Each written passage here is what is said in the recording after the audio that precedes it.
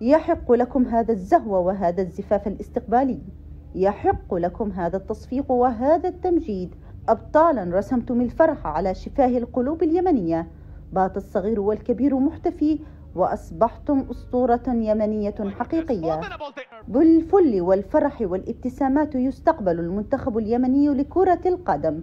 القادم من القاهرة إلى عدن بعد وصوله إلى النهائيات الأسيوية المقرر إقامتها في شهر مارس.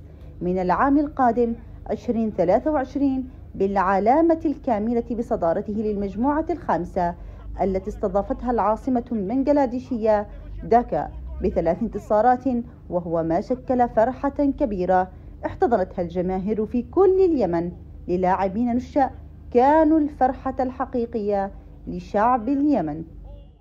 الشعور لا ينوصف. شعور جميل جدا.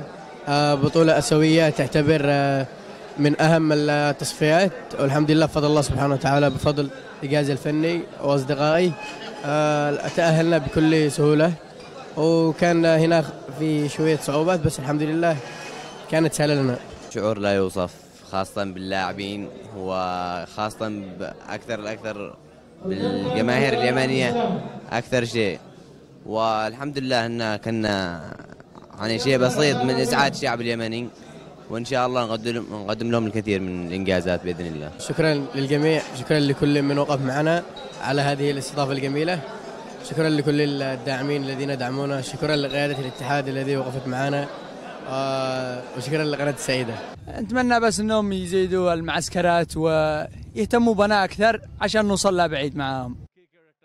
رغم الظروف الصعبة والإمكانيات القليلة التي توفرت للمنتخب اليمني للناشئين أثناء تدريبهم ورحلتهم إلا أنهم أظهروا إمكانيات كبيرة حملوا معها مسؤولية النصر الذي عول عليه اليمنيين في شمال الوطن وجنوبه فكانوا ذات جدارة وحملوا عاتق النجاح بمسؤولية وبغير النصر والتأهل ما كانوا ليقبلوا.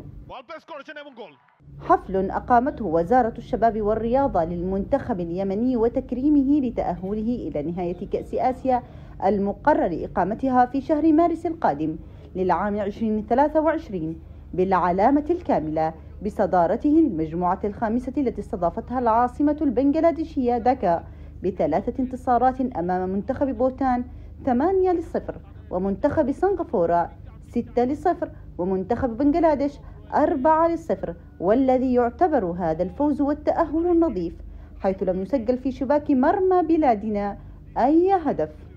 الحقيقة شعور صعب واحد يوصفه بكلمات يعني لأنه شعرنا بال أفضل تعبير يعني عبرنا عنه بعد المباراة كانت حق بنجلاديش يعني كانت تصرف تلقائي هكذا يعني والفرحة عارمة كانت تعم لاعبي المنتخب والبعثة كامل.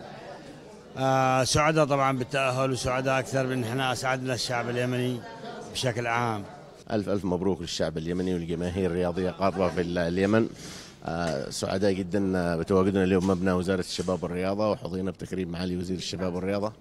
هؤلاء الأبطال المنتخب يستحقون يمتلكون جودة فنية عالية وأبطال كانوا أبطال. شكر آه لقيادة اتحاد الكرة اللي سهلت ودعمت المنتخبات الوطنية وألف مبروك لنا جميعا. وشكرا لقناتكم. أعتقد إنه الآن دوركم لازم يكون حاضر. منتخب اليمن بدون إمكانيات وصل إلى ما وصلنا إليه. فكيف إذا توفرت الإمكانيات؟ المطلوب كل شخص يحب وطنه وغيور على وطنه. ويحب الشباب. هذا القطاع اللي يفترض يدعمه يعني. أنا ما أتكلم على كرة القدم فقط.